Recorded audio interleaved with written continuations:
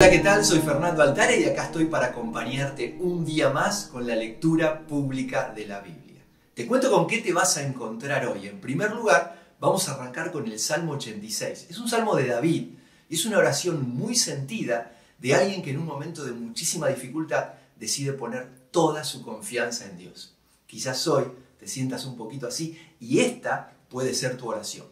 Luego vamos a ir al segundo libro de Samuel, desde el versículo 22 del capítulo 3 hasta el final del capítulo 5 y ahí nos vamos a encontrar con algunas escenas un poco fuertes, como los asesinatos de Abner, algo que David lamentó muchísimo, y el de Isboset, un hijo de Saúl. Además, vamos a ser testigos nada menos que de la coronación de David como rey de todo Israel y la conquista de Jerusalén. En tercer lugar, vamos a ir en nuestro transitar por el Nuevo Testamento al capítulo 14 del libro de los Hechos, donde vamos a ver a Pablo y a Bernabé recorriendo varias ciudades antes de regresar a Antioquía de Siria, entre ellas Listra, una ciudad en donde la gente del lugar, de querer adorar a Pablo como un dios, pasó a apedrearlo hasta dejarlo casi muerto.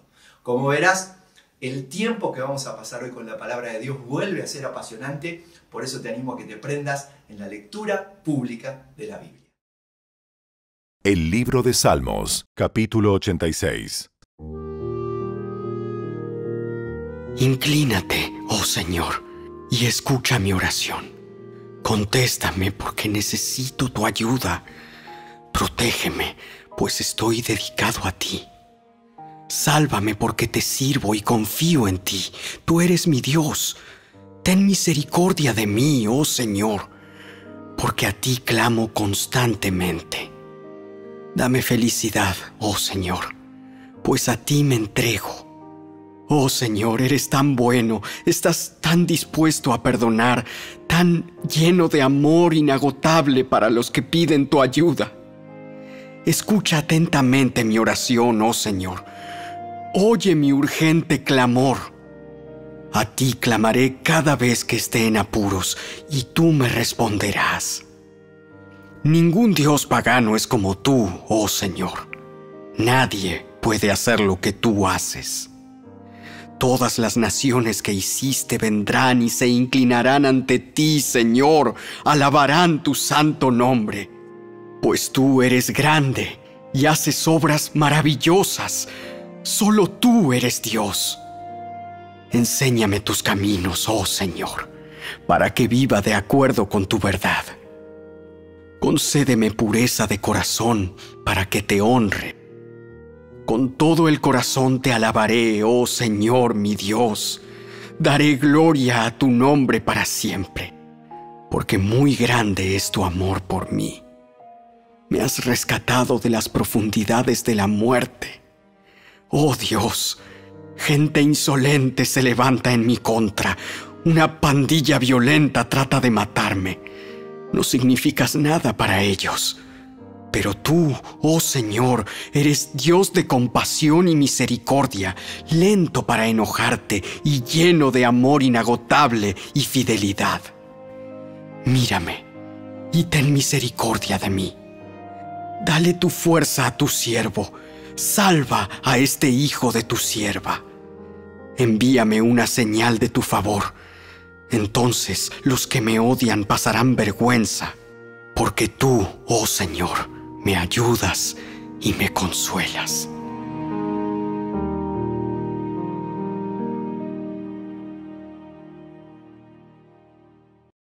El segundo libro de Samuel, capítulo 3. Pero justo después que David despidió a Abner en paz, Joab y algunas de las tropas de David regresaron de una incursión y traían un gran botín. Cuando Joab llegó, le dijeron que Abner acababa de visitar al rey y que David lo había enviado en paz. Entonces Joab fue deprisa a ver al rey y le preguntó, ¿Qué ha hecho usted? ¿Qué pretende al dejar ir a Abner? Sabe perfectamente bien que vino a espiarlo y averiguar todo lo que está haciendo. Con eso Joab dejó a David y envió mensajeros para que alcanzaran a Abner y le pidieran que regresara. Ellos lo encontraron junto al pozo de Sira y lo trajeron de regreso sin que David supiera nada. Cuando Abner llegó de nuevo a Hebrón, Joab lo llevó aparte, a las puertas de la ciudad, como si fuera a hablar en privado con él. Pero lo apuñaló en el estómago y lo mató en venganza por la muerte de su hermano Asael. Cuando David se enteró, declaró, Juro por el Señor que yo y mi reino somos inocentes para siempre de este crimen cometido contra Abner, hijo de Ner. Joab y su familia son los culpables. Que la familia de Joab sea maldita. Que nunca falte un hombre de cada generación que padezca de llagas o de lepra, o que camine con muletas, o, o que muera espada, o que mendigue comida.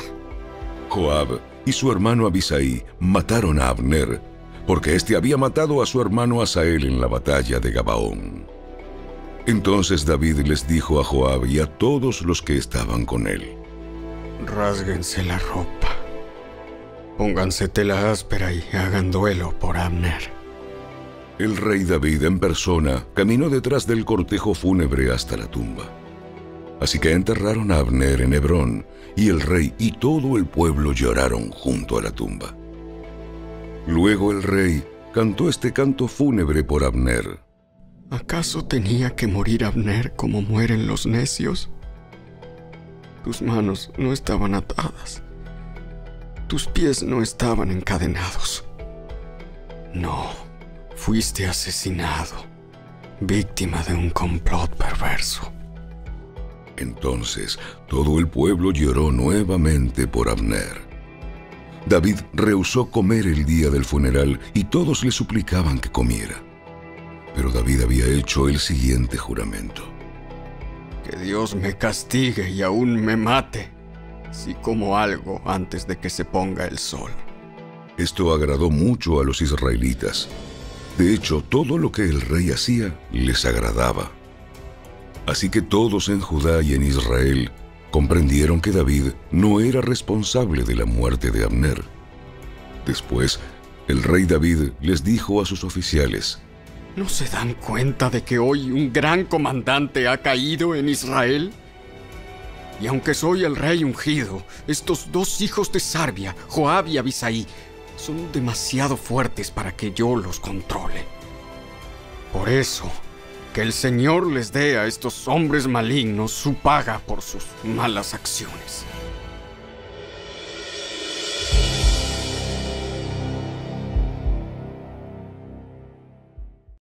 El segundo libro de Samuel, capítulo 4.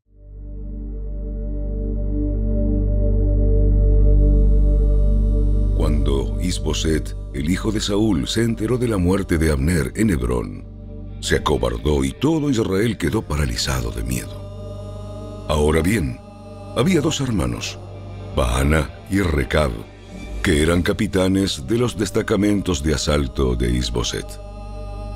Eran hijos de Rimón, un miembro de la tribu de Benjamín que vivía en Beerot. La ciudad de Beerot ahora forma parte del territorio de Benjamín, porque los habitantes originarios de Beerot huyeron a Gitaim, donde todavía viven como extranjeros. Jonatán, hijo de Saúl, tuvo un hijo llamado Mefiboset, quien quedó lisiado de niño. Cuando Mefiboset tenía cinco años, llegó la noticia desde Jezreel de que Saúl y Jonatán habían muerto en batalla. Al enterarse la niñera, tomó al niño y huyó, pero con el apuro se le cayó y quedó lisiado. Cierto día, Recab y Baana, los hijos de Rimón de Beerot, fueron a la casa de Isboset cerca del mediodía, mientras él dormía la siesta. A la portera, quien había estado zarandeando trigo, le dio sueño y se durmió, así que Recab y Baana pasaron desapercibidos. Entraron en la casa y encontraron a Isboset dormido en su cama. Lo golpearon, lo mataron y le cortaron la cabeza. Luego tomaron la cabeza y huyeron durante la noche a través del valle del Jordán. Cuando llegaron a Hebrón, le presentaron la cabeza de Isboset a David y exclamaron, Mire, mire, aquí está la cabeza de Isboset, el hijo de su enemigo Saúl, quien intentó matarlo. El Señor le ha dado hoy a mi Señor el Rey venganza sobre Saúl y toda su familia. Pero David les dijo a Recab y a Baana, El Señor, quien me salvó de mis enemigos, es mi testigo. Una vez alguien me dijo, Saúl ha muerto, pensando que me traía buenas noticias. Pero yo lo agarré y lo maté en Ciclag. Esa fue la recompensa que le di por sus noticias. ¿Cuánto más debo recompensar a los hombres malignos que mataron a un hombre inocente en su propia casa y mientras estaba en la cama? ¿No debería hacerlos responsables de su sangre y así liberar al mundo de su presencia? Entonces David ordenó a sus hombres que los mataran y así lo hicieron. Les cortaron las manos y los pies y colgaron sus cuerpos junto al estanque de Hebrón. Luego tomaron la cabeza de Isboset y la enterraron en la tumba de Abner en Hebrón.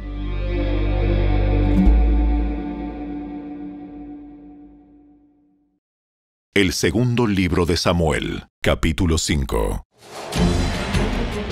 Luego todas las tribus de Israel fueron a David en Hebrón y le dijeron, Somos de la misma sangre. Somos de la misma sangre. En el pasado, cuando Saúl era nuestro rey, en realidad era usted quien dirigía las fuerzas de Israel. Y el Señor le dijo, tú serás el pastor de mi pueblo Israel. Tú serás el líder de Israel. De modo que allí en Hebrón, el rey David hizo un pacto ante el Señor con todos los ancianos de Israel y lo ungieron rey de Israel. David tenía 30 años cuando comenzó a reinar y reinó 40 años. Había reinado sobre Judá desde Hebrón siete años y seis meses, y desde Jerusalén reinó sobre todo Israel y Judá por 33 años. Luego David dio a sus hombres a Jerusalén para pelear contra los jebuseos, los habitantes originarios de esa tierra que vivían allí. Los jebuseos se mofaban de David. Jamás entrarás Jamás aquí. entrarás aquí. Hasta los ciegos y los cojos pueden impedir que ingreses. pues los jebuseos pensaban que estaban a salvo. Pero David tomó la fortaleza de Sión, la que ahora se llama Ciudad de David. El día del ataque, David les dijo a sus tropas, Odio a esos jebuseos cojos y ciegos. Todo el que ataque la ciudad que haga su entrada por el túnel de agua. Este es el origen del dicho, ni el ciego ni el cojo pueden entrar en la casa. Así que David hizo de la fortaleza su casa y la llamó la ciudad de David. Extendió la ciudad, comenzando desde los terraplenes y continuó hacia adentro.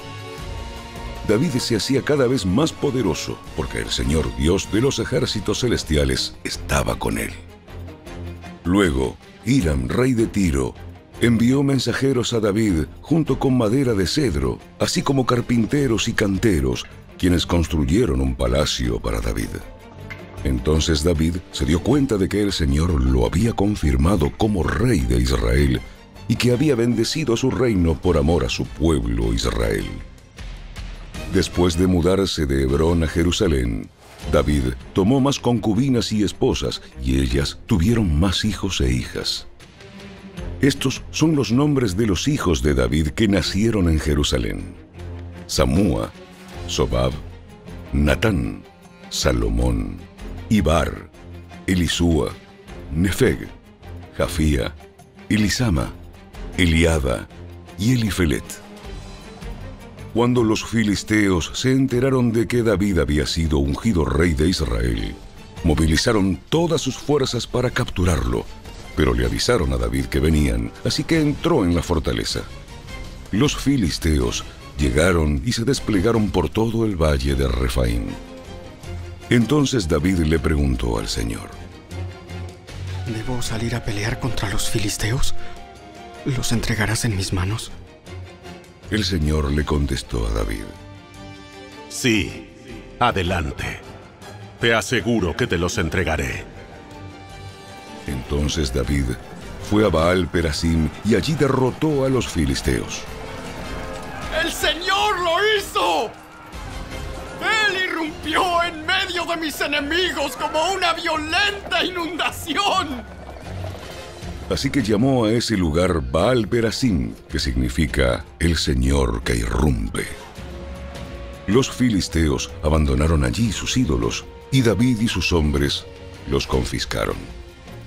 Pero poco tiempo después, los filisteos volvieron y de nuevo se desplegaron en el valle de Refaim. De nuevo David le preguntó al Señor qué debía hacer. No los ataques de frente. En cambio, rodéalos y cerca de los álamos, atácalos por la retaguardia. Cuando oigas un sonido como de pies que marchan en las copas de los álamos, mantente alerta. Esa será la señal de que el Señor va delante de ti para herir de muerte al ejército filisteo. Entonces David hizo lo que el Señor le ordenó e hirió de muerte a los filisteos desde Gabaón hasta Geser.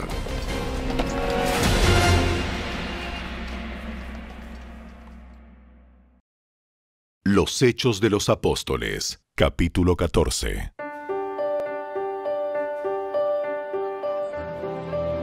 Lo mismo sucedió en Iconio.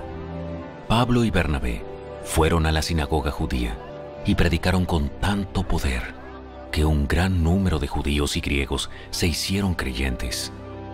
Sin embargo, algunos de los judíos rechazaron el mensaje de Dios y envenenaron la mente de los gentiles en contra de Pablo y Bernabé. Pero los apóstoles se quedaron allí por mucho tiempo, predicando con valentía acerca de la gracia del Señor. Y el Señor demostraba que el mensaje era verdadero al darles poder para hacer señales milagrosas y maravillas la gente de la ciudad estaba dividida en cuanto a su opinión sobre ellos. Algunos estaban del lado de los judíos y otros apoyaban a los apóstoles. Entonces una turba de gentiles y judíos, junto con sus líderes, decidieron atacarlos y apedrearlos. Cuando los apóstoles se enteraron, huyeron a la región de Licaonia, a las ciudades de Listra y Derbe y sus alrededores, y allí predicaron la buena noticia. Mientras estaban en Listra, Pablo y Bernabé se toparon con un hombre lisiado de los pies. Como había nacido así, jamás había caminado. Estaba sentado, escuchando mientras Pablo predicaba.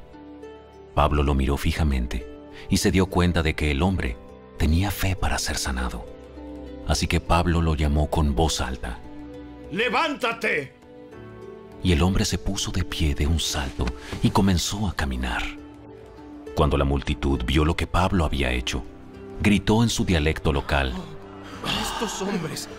Estos hombres son dioses en forma humana. Decidieron que Bernabé era el dios griego Zeus y que Pablo era Hermes por ser el orador principal. El templo de Zeus estaba situado justo fuera de la ciudad, así que el sacerdote del templo y la multitud llevaron toros y coronas de flores a las puertas de la ciudad y se prepararon para ofrecerle sacrificios a los apóstoles. Cuando los apóstoles Bernabé y Pablo oyeron lo que pasaba, horrorizados se rasgaron la ropa y salieron corriendo entre la gente mientras gritaban, Amigos, ¿por qué hacen esto? Nosotros somos simples seres humanos, tal como ustedes. Hemos venido a traerles la buena noticia de que deben apartarse de estas cosas inútiles y volverse al Dios viviente, quien hizo el cielo y la tierra, el mar y todo lo que hay en ellos. En el pasado, Él permitió que todas las naciones siguieran su propio camino, pero nunca las dejó sin pruebas de sí mismo y de su bondad. Por ejemplo, les envía lluvia y buenas cosechas, y les da alimento y corazones alegres. No obstante, aún con estas palabras, a duras penas Pablo y Bernabé pudieron contener a la gente para que no les ofreciera sacrificios. Luego unos judíos llegaron de Antioquía e Iconio y lograron poner a la multitud de su lado. Apedrearon a Pablo y lo arrastraron fuera de la ciudad pensando que estaba muerto. Pero los creyentes lo rodearon y él se levantó y regresó a la ciudad. Al día siguiente, salió junto con Bernabé hacia Derbe. Después de predicar la buena noticia en Derbe y de hacer muchos discípulos, Pablo y Bernabé regresaron a Listra, Iconio y Antioquía de Pisidia, donde fortalecieron a los creyentes. Los animaron a continuar en la fe y les recordaron que debemos sufrir muchas privaciones para entrar en el reino de Dios. Pablo y Bernabé también nombraron ancianos en cada iglesia. Con oración y ayuno, encomendaron a los ancianos al cuidado del Señor, en quien habían puesto su confianza. Luego atravesaron nuevamente Pisidia y llegaron a Panfilia. Predicaron la palabra en Perge y después descendieron hasta Atalia. Por último, regresaron en barco a Antioquía de Siria, donde habían iniciado su viaje. Los creyentes de allí los habían encomendado a la gracia de Dios para que hicieran el trabajo que ahora habían terminado. Una vez que llegaron a Antioquía, reunieron a la iglesia y le informaron todo lo que Dios había hecho por medio de ellos y cómo Él también había abierto la puerta de la fe a los gentiles. Y se quedaron allí con los creyentes por mucho tiempo.